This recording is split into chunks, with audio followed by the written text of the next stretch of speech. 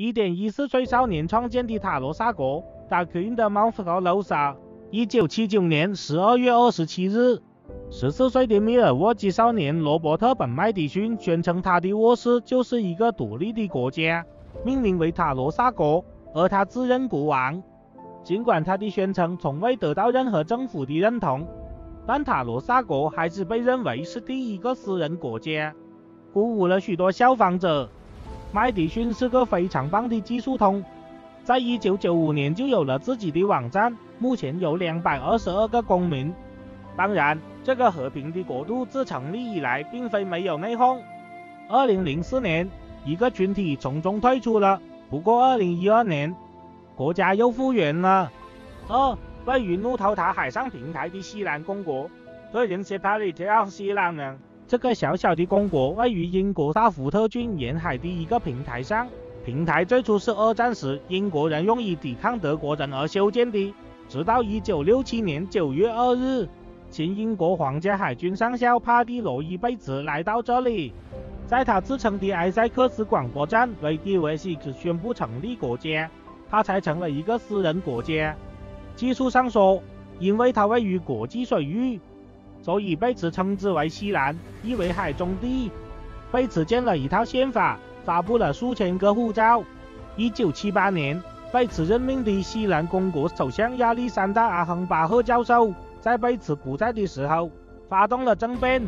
不过好在贝茨有个强悍的儿子麦克，最终将他们挫败了。二零一二年贝茨离世后，麦克接管了公国王子的职位。但阿亨巴赫的后继者也不示弱，在另一个网站上与之对抗。三、印刷邮票的邦邦加省，多人切服邦邦加。从第一世界之国澳大利亚退出来的邦邦加省，是一九七六年三月二十九日由英皇忠实成员兼前猴子训练员 Rex Blackstone 缔造的。他不喜欢反对君主制的澳大利亚，于是，在四公顷的自家地产上建立了国家。并任命自己为总督。从这个意义上说，澳大利亚还有一小块效忠英国王室的土地。他还试图在自己家的草莓地里建立大不列颠的巨大模型，可惜因为干旱失败了。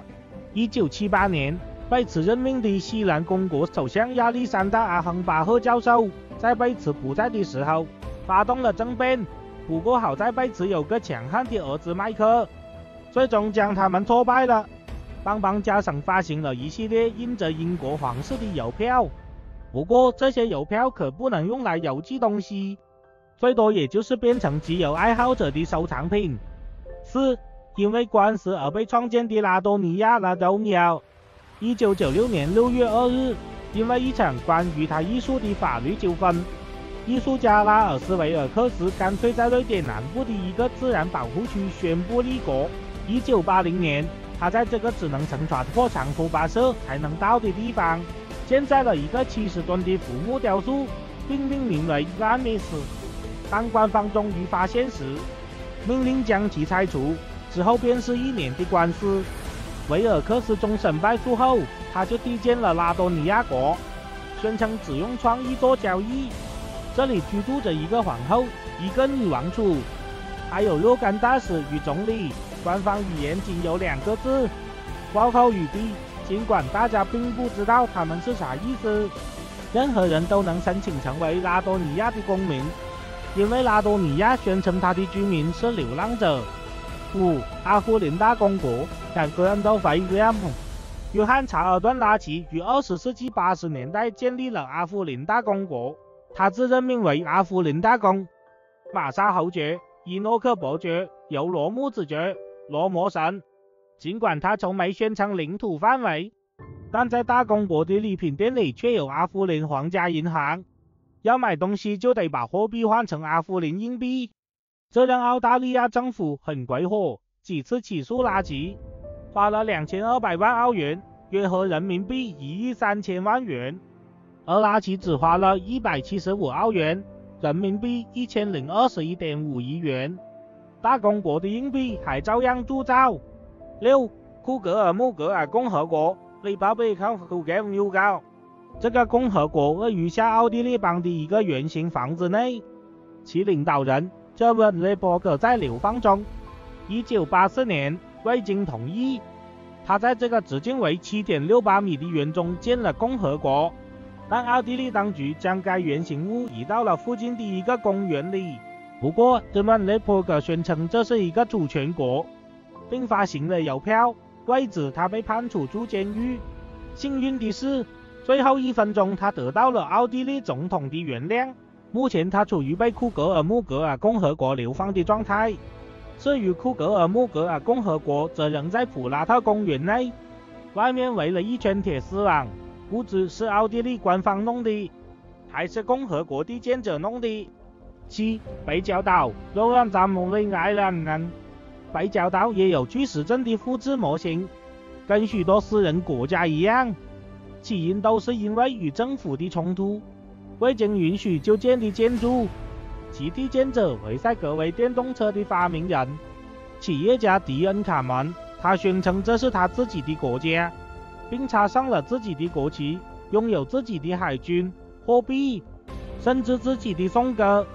颂歌则由百老汇导演鲍尔斯所写。这位鲍尔斯是北角岛的早午餐牧师。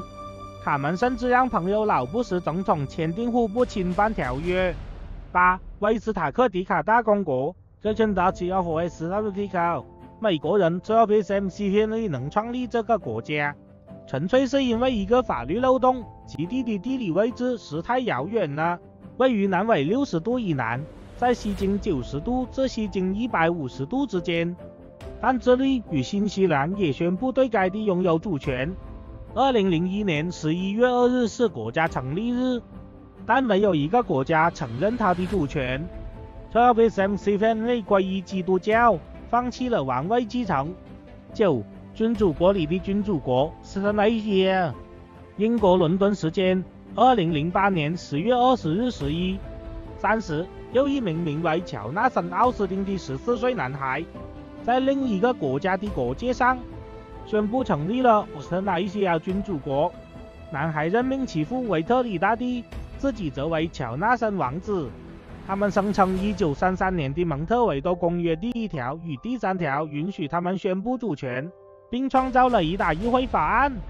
想要参观这个国度的人，只需事先联系即可。十，无处不在的沃特岛沃特岛。沃特岛其实是存在网络世界中的私人国家。